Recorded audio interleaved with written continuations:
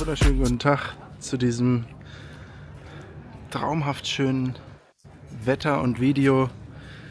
20. Jubiläum des Concorso de Eleganza wäre es in Italien, Concours de Elegance in Englisch und hier den Konkurs der Eleganz in Schwetzing. Heute ist der 31. Was haben wir? August 2024. Ich filme wie immer alle Autos, laufe durch jede Reihe durch, um jedes Auto mal gefilmt zu haben. So filme ich international auf der ganzen großen weiten Welt. Coole Auto-Events in deutscher Sprache. Das hier ist ein Einzelstück zwischen 72 bis 75 gebaut. Sam, Fuß, Pantera. Bleiben wir hier aber jetzt mal nicht so lang und gehen direkt mal weiter.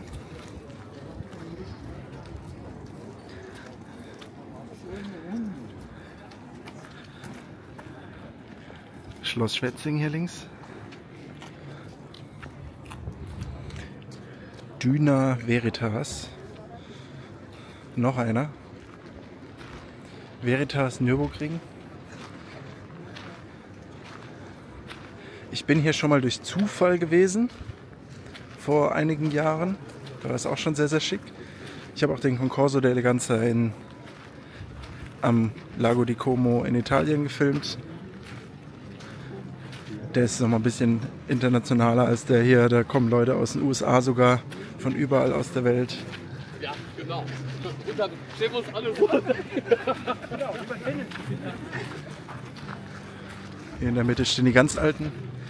Ich muss mal noch überlegen, wie ich ablaufe. Das ist immer bei jedem Event die Überlegung, wie ich das ablaufe. Heute sind auch irgendwelche Jahresfeiern. Ich glaube Rolls-Royce, da hinten sehe ich schon Rolls-Royce Line-Up. Mustang ist, glaube ich, auch da.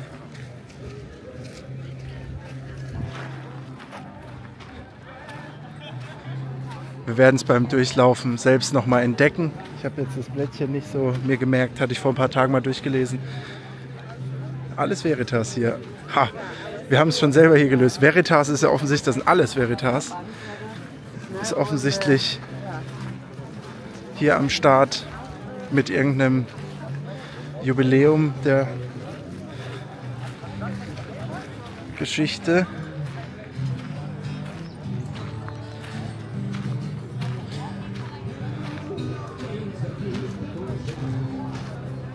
Jetzt muss ich überlegen, laufe ich jetzt erst in der Mitte durch, laufe ich die Mitte ganz am Ende und laufe hier erstmal an der Seite rüber zu Rolls-Royce oder auf der anderen Seite kann ich auch laufen.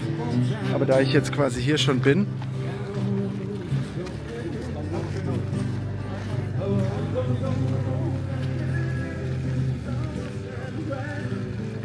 Sehr schön, kann man wahrscheinlich mitfahrten oder sowas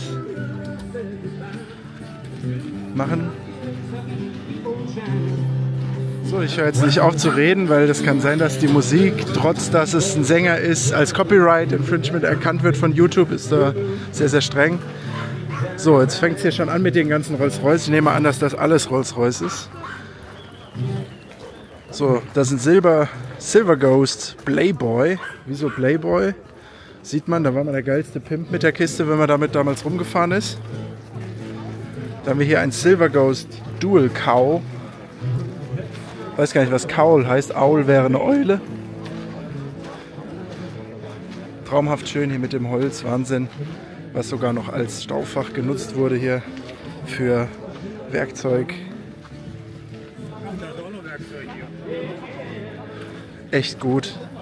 Museum Art and Cars Singen. Ah, da hat mich, glaube ich, mal einer drauf angesprochen auf einer Oldtimer-Messe. Die haben ganz viele tolle Autos. Da drin kann man die Pokale sehen. Habt ihr sie gesehen? Ja, da sieht man sie glänzen. Ganz viele Pokale.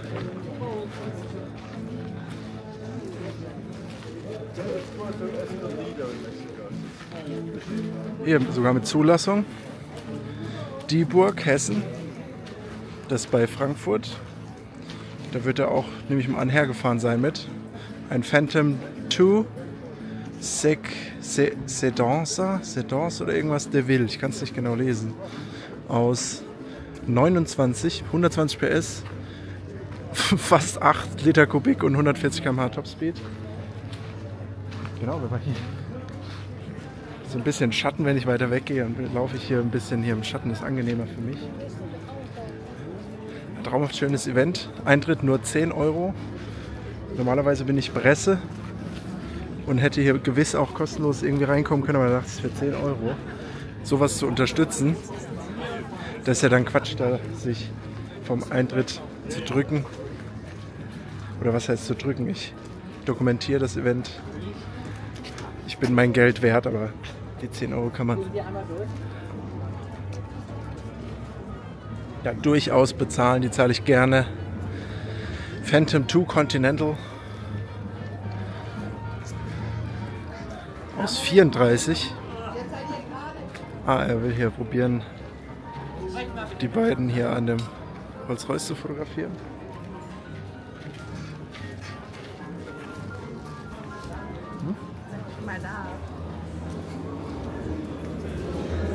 Hier ist so eine Art Kunstausstellung komplett in diesem Flügel. Ach, guck mal hier, nagelneue Mercedes GDR 300 SL 911er. Sehr schick. Das ist äh, toll. Kamera. So, da war ein Mann, der fand meine Kamera toll und wollte ein Foto von machen, weil er so was Kleines, Cooles irgendwie noch nicht gesehen hatte. Ich habe gerade überlegt, ob ich ihm noch Kärtchen geben soll, dann kann er über meinen Link die Kamera kaufen. Hier auch sehr schick. Quasi Werbefahrzeug für den Getränkestand.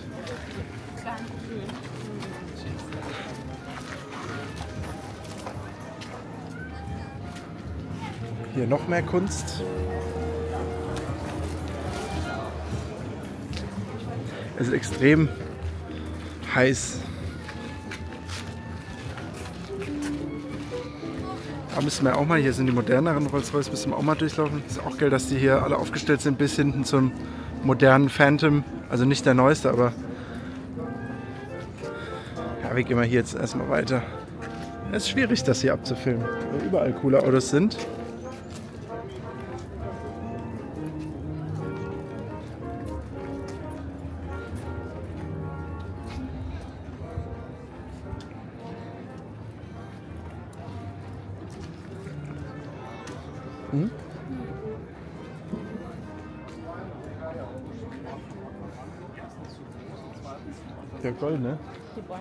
Achso.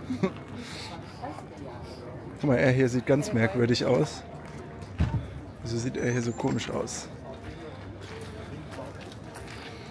Der guckt ganz komisch daher.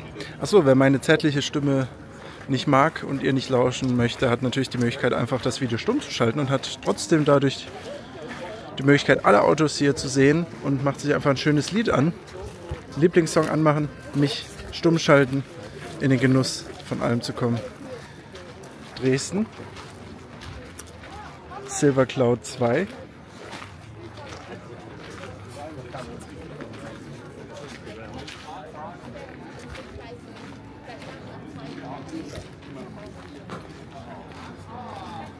Das irgendwie unterschätzt, dass das so groß hier ist. Aber wir gucken mal, wann wir sie alle abgelaufen haben. Nicht, dass das Video zu lange wird, aber wieso nicht? Das kleine Wappen übrigens in Kühlergrill, das habe ich auch. Automobilclub von Monaco. Habe ich schon seit vielen Jahren. Ich besuche Monaco schon mit 18 Jahren das erste Mal selber dann dahin und dann seitdem jedes Jahr bis zu fünfmal im Jahr nach Monaco. Gibt es auch viele schöne Videos auf Deutsch. Hier wunderschöner Garten. Dahin geht es auch gerade weiter. Dahin ist ein schöner alter Mercedes-Benz LKW versteckt. Ich denke, hier an jedem Eck versteckt sich irgendwas Schönes. Das macht es nicht leichter, alles zu filmen. Ah, da hinten ist Mercedes noch versteckt. Ist schön nach Marken sortiert. Dann hier ist der Jaguar Club.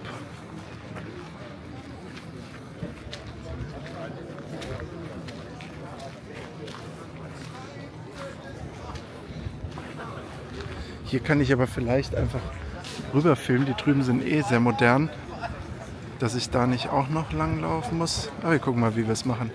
Dieses auffällige Gelbe da drüben ist ein F-Type.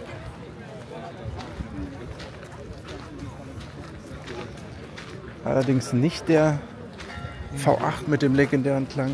Sieht man an den zwei Rohren in der Mitte.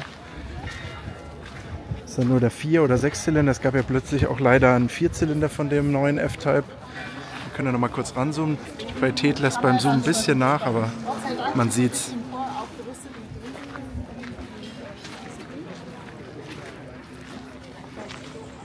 Ferrari.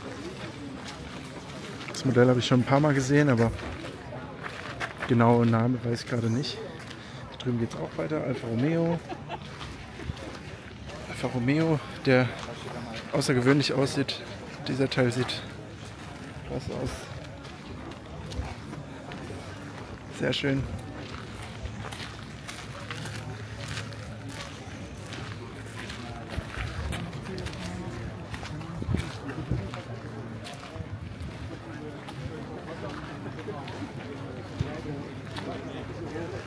Im Hintergrund sieht man auch die modernen Rolls-Royce.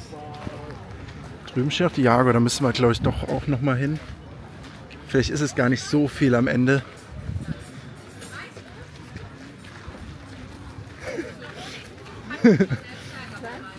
ich glaube, hier will jemand was. Ja, hier stoppe ich So, kurz bin ich wieder. Meine Prinzessin wollte ein Lillet haben. Ich sehe jetzt die Daten nicht, aber ich hoffe, das wäre toll, wenn die Autos aufgelistet werden. Das ist natürlich der modernste, ne? das ist ein Pha- Phantom Series äh, 5, 6, 6, 6 glaube ich. Nach ihm kamen auf jeden Fall noch Facelifts. Er hat noch die runden Lichter, ist schon eine alte Kiste, den gab es so ab 2006 oder 2007 oder so, gab es den so bis 2010, 11 oder so. Da gab es dann das Facelift schon von ihm. Wir gehen einfach mal hin. Weil die sind sehr breit aufgefächert, die Autos. Ich glaube, das dauert gar nicht so lange, bis ich hier alle abgefilmt habe. Ganz normaler Fenton. Die sind sehr, sehr günstig mittlerweile. Das Auto wurde bei Rolls-Royce in Köln gekauft. Steht im Kennzeichenhalter. Ich glaube, der billigste mobile 60.000 Euro. Natürlich dann der Zustand nicht super. Genau, 2007 steht drauf, habe ich gut geschätzt.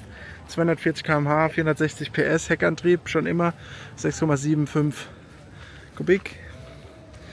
Und es ist ein, das ist schon ein 7er, okay. Dann ist das der 7er, die anderen waren dann nur Facelifts. Die heißen dann äh, Series 2, die Facelifts. Und nach ihm kam dann der 8er und der 8er ist der aktuellste.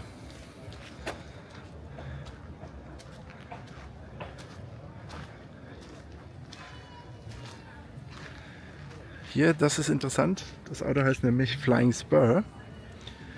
Dabei gibt es einen Flying Spur aktuell bei Rolls-Royce überhaupt nicht mehr, sondern nur bei Bentley gibt es den Flying Spur. Aktuell noch im Programm.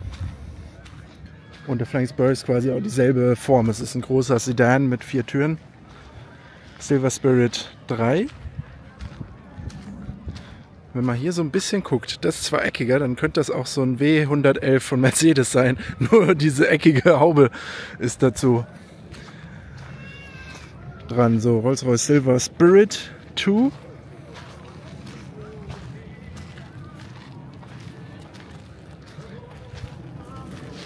Silver Seraph Last of Line Edition. Ich denke dann auch, dass das Original ist. Diese Radzieherkappen hier mit der Emily habe ich so irgendwie vorher noch nie wahrgenommen.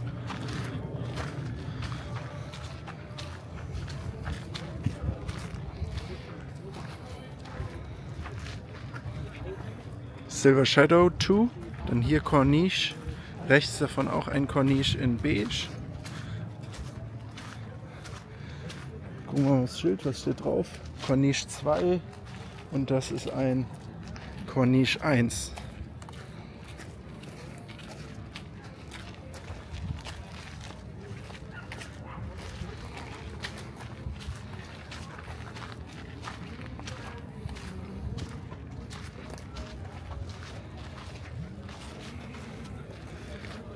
Ein Silver Shadow 2.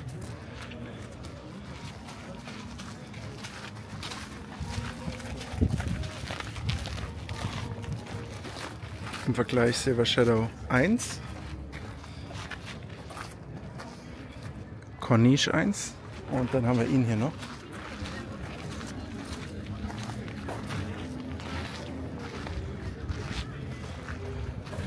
HP 2025. Und jetzt laufe ich, glaube ich, einfach direkt wieder so, Jetzt bin ich wieder hier hintergelaufen.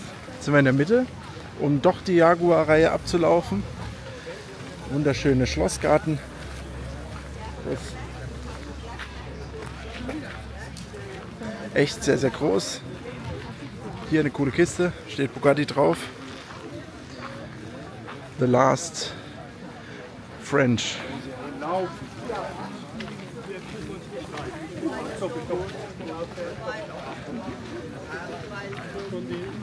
Hier ein Maserati zur linken, rechts W111 Cabriolet von Mercedes-Benz.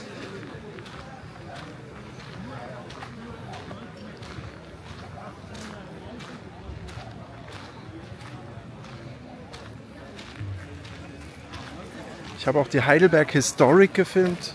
Große, sehr große, größte von Deutschland. Oldtimer Rallye, die hier in Schwetzing ganz in der Nähe ist. Leute, die hier Schwetzing kennen, kennen sicherlich auch die Heidelberg Historic. Einfach mal mein Name, Utixo, U-T-H-I-X-O, steht ja unten unter dem Video. Oben eingeben im Suchfeld und dann Heidelberg Historic dahinter schreiben. Dann findet ihr die Videos. Auch spannend ist der Belmont Oldtimer Grand Prix Nürburgring. Den habe ich auch komplett gefilmt in dieser Art. Alle Rennserien, alle Fahrzeuge, das komplette Fahrerlager.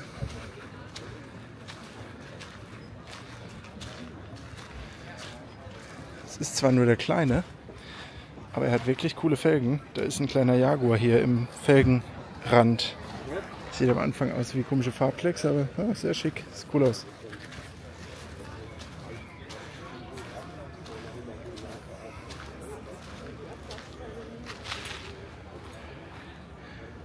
XJ350 XJ350 Super 8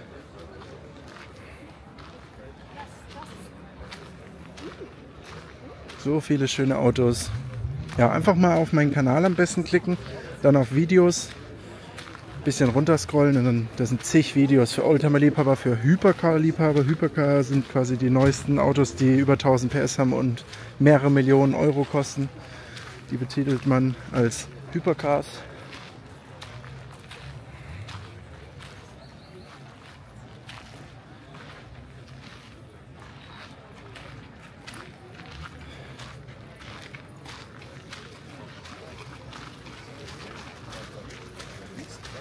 abonnieren, ein gefällt mir, Daumen hoch, kommentieren nicht vergessen. So, da vorne gibt es Lloyd, 70 Jahre glaube ich, da so Aufblasballons, gehen wir natürlich auch noch hin.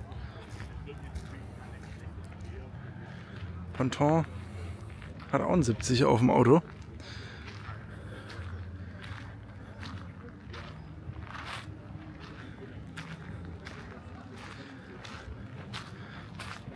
Ich bin jetzt extra hier hochgelaufen, um jetzt wieder zurückzulaufen, um dann quasi dann ums Eck zu laufen und diese Reihe abzulaufen.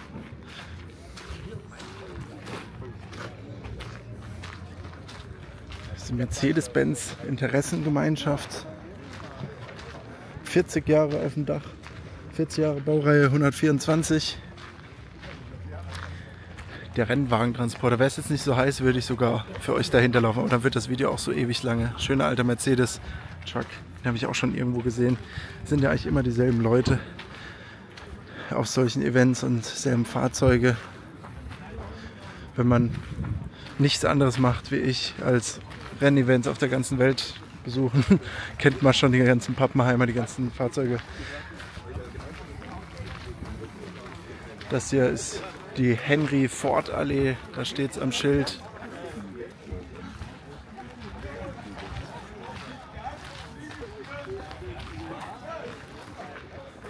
So einen hatte mein Vater damals mal. Im Luftfahrwerk kann man hochfahren.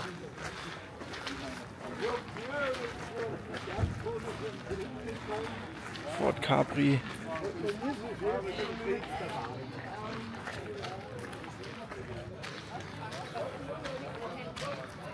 Das hier sind Zagatos. Komischerweise ganz viele. Hätte gedacht, dass der seltener ist. Zagato ist ein Designer, der Ferrari zum Beispiel und auch Alfa Romeos modifiziert. Quasi ein getunter Alpha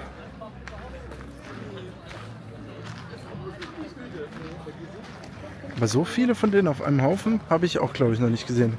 Schon oft gesehen das Auto, aber so viel gab es wohl häufiger, als ich dachte. Sehr cool.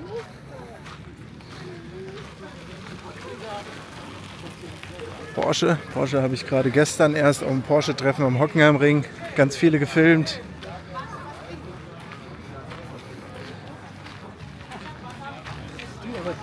Viele Unternehmen, die sich hier ausstellen. Hier, das sieht cool aus. So eine Scheibe. Und dahinter ist alles, aber hier ist eine Riesenöffnung und da den Parkplatz. Dann kannst du drinnen fahren. Da wo die, Anja sagt,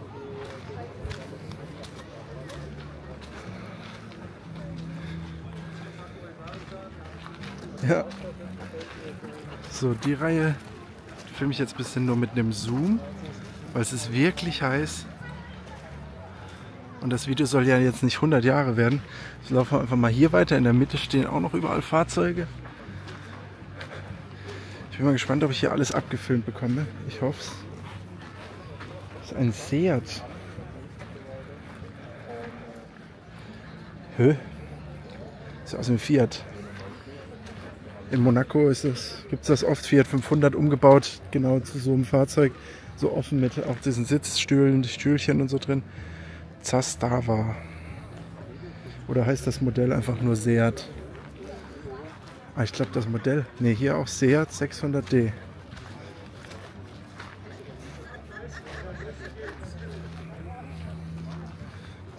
Hier mit Hänger.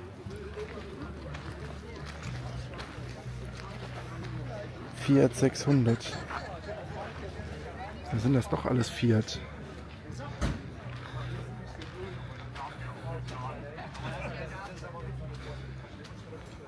Fiat Seat, da steht's. Er hat beides auf dem Emblem stehen. Fiat. Man kann es wahrscheinlich nicht lesen, aber da steht auf dem Emblem Fiat Seat. Abarth. Um genau zu sein, Abarth TC. Dann hier ein 600D Ocker. Ocker ist die Farbe dann oder was? so steht's da. 750S Zastava.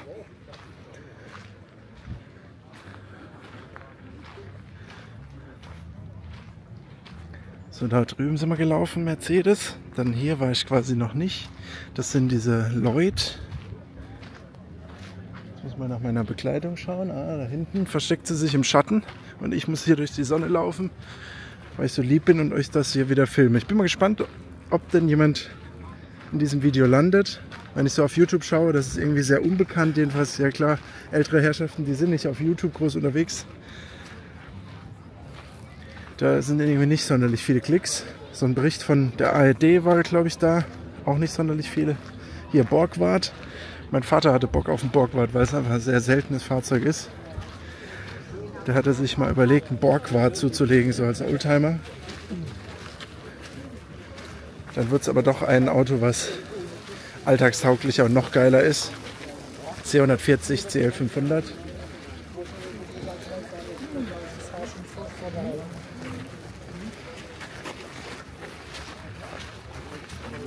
ein bisschen schwierig.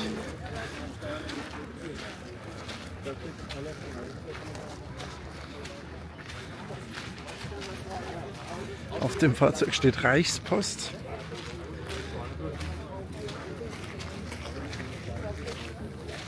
Borgward Club.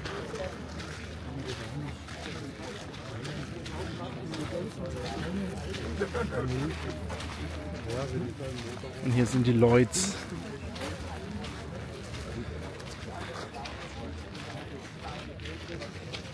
Borgward Isabella. Isabella Kombi. Coole Kisten.